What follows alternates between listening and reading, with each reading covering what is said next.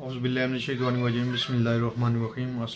वरहमतुल्लाहि वबरकातुहू अल्लाह पाक के बाबरकत नाम के साथ शुरू, जो बड़ा मेहरबान नहायत रहम करने वाला है, मैं हूँ हकीम ख्वाजा मोहम्मद नईम, सलीम दवाखाना बलवाल की तरफ़ से आप तमाम दोस्तों की खिदमत में हाजिर हूँ।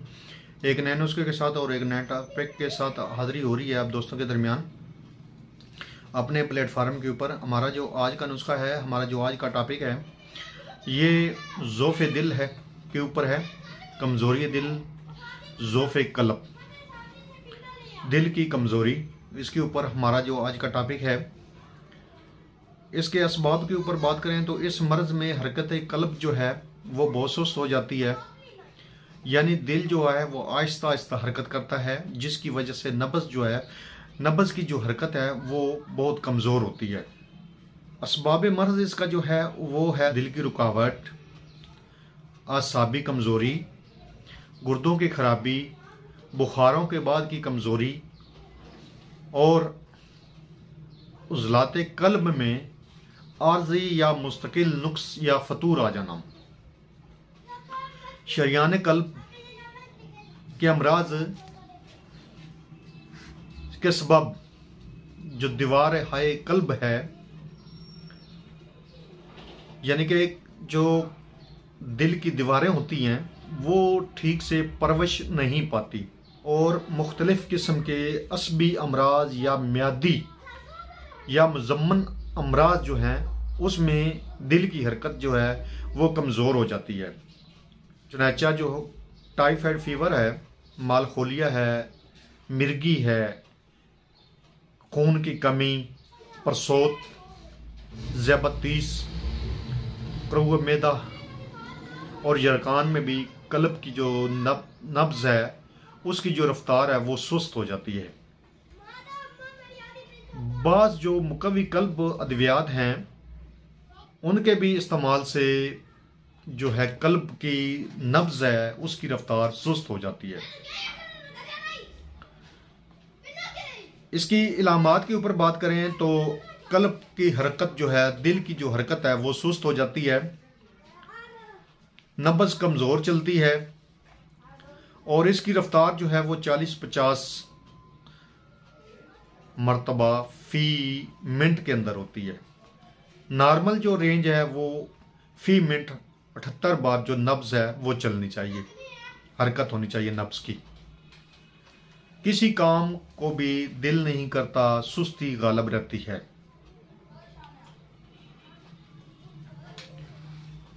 इसके इलाज के ऊपर बात की जाए तो दो किस्म के नुस्खे जो हैं वो आप दोस्तों की खिदमत में हाजिर कर रहा हूँ। लेकिन नुस्खों की तरफ़ जाने से पहले मैं आप तमाम दोस्तों से गुजारिश करूँगा कि जो दोस्त मेरे चैनल के ऊपर नए हैं और जिन्होंने चैनल को अभी तक सब्सक्राइब नहीं किया वो खुद भी चैनल को सब्सक्राइब कर लें और अपने दोस्तों को भी चैनल के ऊपर इन्वाइट करें, ताकि मोहब्बतों का यह सिलसिला जो ये चलता रहे और यह कारवा बढ़ता रहे और यह तभी मुमकिन है जब आप दोस्त अहबाब तामन फरमाएँगे तो। इलाज के ऊपर बात करें तो एक तो मरीज़ को जो है ना, खुली हवा में रखना चाहिए। सैलन ज़दा जो कमरे हैं, जिनमें हवा का क्रॉसिंग नहीं होती, उन कमरों में मरीज़ को नहीं रखना चाहिए।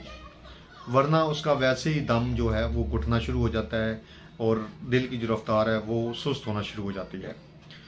उसके बाद इसको, मरीज़ को जो है, वो खमीरा, ब्रेशम, दवाल मिस्क मतदिल जवारदार खमीरा ब्रेशम हकीम मरशद वाला जो है, वो लेना है। और इसके बाद इसमें आपने खमीरा का ज़ुबान अमरी जवारदार वाला मिलाना है।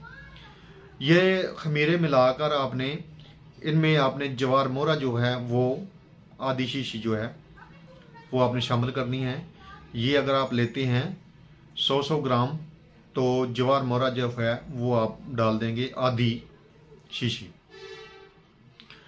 तो ये मरकब जो है, आप मरीज़ को सुबह शाम खिलाएँगे। ये मरकब आप किसी भी कंपनी का बना हुआ ले सकते हैं। अब एक बेहतरीन किस्म का जो नुस्खा है, जोफ़ दिल के लिए, वो आप दोस्तों को देने लगा हूँ। इस नुस्खे को जो है, वो आप लिख लें या वीडियो को डाउनलोड कर लें ताकि नुस्खा आपके पास मौजूद हो। तो एक बेहतरीन किस्म का और मुजरब जो नुस्खा है, जोफ़ दिल के लिए आप इसको बनाकर रख सकते हैं। ये जोफ़ दिल के अलावा भी बहुत से अमराज के ऊपर काम करता है, वो भी आपको बताते हैं, लेकिन नुस्खा पहले आप नोट फरमा लें।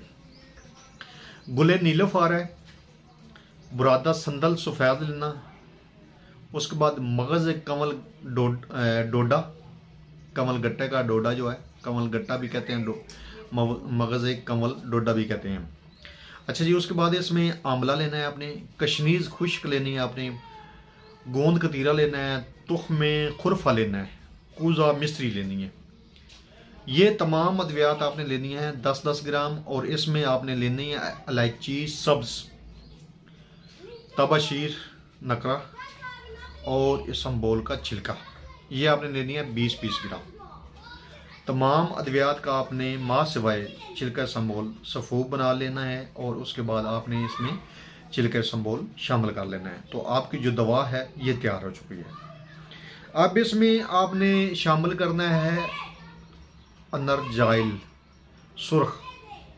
कलर में जो आ रहा है, अनरजाइल, वो आपने 50 ग्राम मिला लेना है।